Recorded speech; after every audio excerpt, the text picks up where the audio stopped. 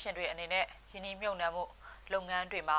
ချင်းငွေလိုအပ်ရင်ဒီနေ့အစိုးရအဖွဲ့ကိုတင်ပြတောင်းခံနိုင်တယ်လို့မွန်ပြည်နယ်ဝန်ကြီးချုပ်ကပြောပါတယ်စောလင်းထွတ်တဲ့ပြပုတ်ထားပါတယ်ရှင်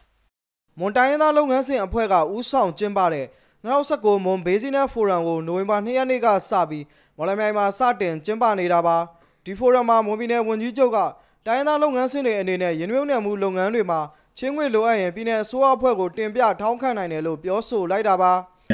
ဒါနဲ့ပတ်သက်ပြီးတော့လည်းကျွန်တော်တို့အစိုးရအဖွဲ့အနေနဲ့ဟုတ်တယ်လားလိုအပ်တဲ့ချင်းငွေတွေရအောင်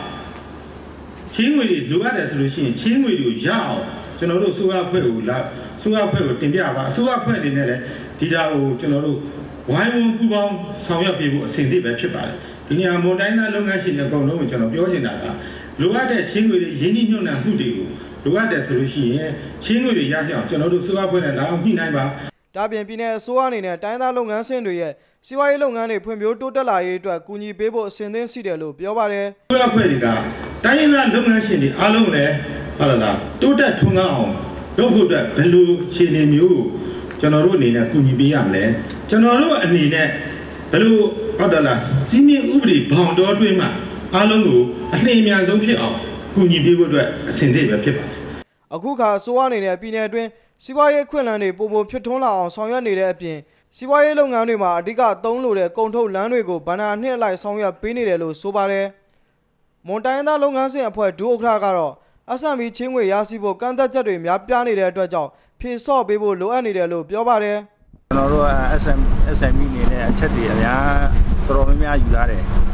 မပြည့်စုံဘူးအချက်တွေကြတော့ကျွန်တော်တို့ကတချို့ grant တွေနဲ့မဖောက်ထားတာရှိတယ် သူတို့အဲ့ဒါကတ်တတ်တွေရှိတာတော့ကျွန်တော်တို့က SME နဲ့ယူဖို့လေအနေချင်းလောက်ပဲရ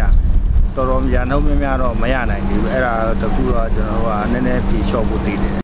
မော်ဘီနယ်အတွင်းစီလုပ်ငန်းစဉ်တွေဟာကျွမ်းကျင်လုပ်သားတွေဤပညာတွေနဲ့ယင်းနှိမ့်မြုံနယ်မှုအတွက်အကူအညီတွေလိုအပ်နေတယ်လို့ဆိုပါတယ်အကူအညီပိုင်းဆိုင်ရာလိုအပ်တာကတော့အမားတို့မှာလိုအပ်တာလောက်သားတွေလည်းလိုတယ်ပြီးတော့ဟိုဟာနီးပညာတွေလည်းလိုတယ်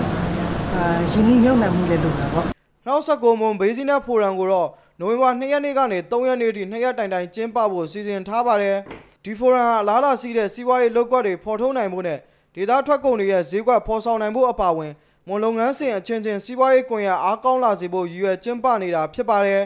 ကျွန်တော်ဇော်လွင်ထွတ်ပါ